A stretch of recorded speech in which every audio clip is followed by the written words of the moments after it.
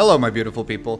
In this video, we will learn whether it's worth buying the lucky ring from Mattis, the tiefling kid you meet in the hollows. And the answer to that is no. It's absolutely not worth it. Because you can get the ring from him by simply being annoying. So first off, he does his little magic trick, summons a ring. Go on. Take this ring. It's Sure it is. So let's just take the ring. Call it. Heads or tails. We'll call heads. Well, that Heads proves is. it, doesn't it? See?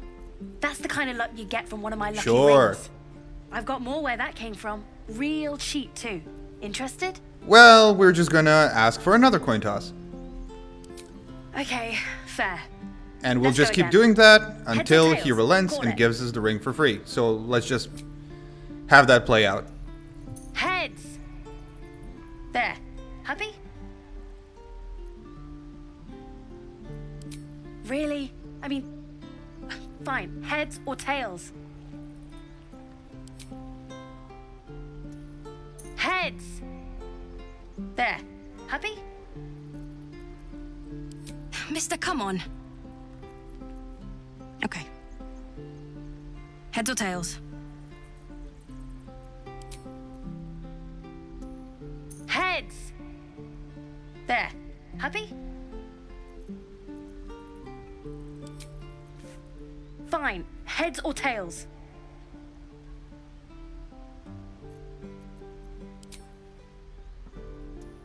Heads. There. Happy? Heads or tails? Heads. There. Happy? You're killing me here, mister. You really are. Just take the ring, huh? Free sample. Now, you want to take a look at the And other there you stuff go. I got? That's how you get it or for maybe free. you just want to go.